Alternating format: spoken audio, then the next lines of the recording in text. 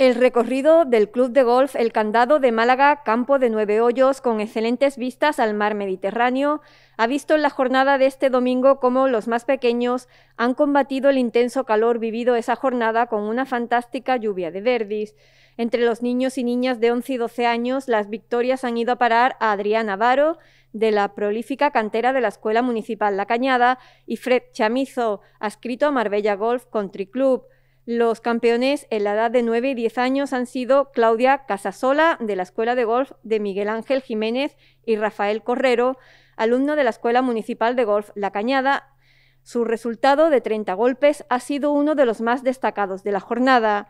Entre los más pequeños, en la categoría de 8 años o menos, los ganadores han sido Martina Tirado, del Real Club de Golf Guadalmina, y Abraham Berenjeno, formado en la Noria Golf and Resort. Por último, en la categoría especial, los triunfos fueron para Alba Malia, de la Escuela de Golf de Miguel Ángel Jiménez, y Álvaro Gómez, de Añoreta, que entregó una sensacional tarjeta de 28 golpes.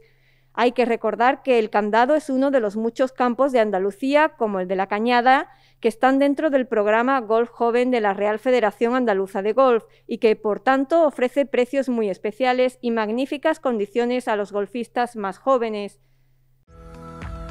Multimedia te ofrece la nueva aplicación para móviles disponible en Google Play y en App Store. Descárgate ya nuestra aplicación y disfruta de tu televisión en el móvil y mucho más.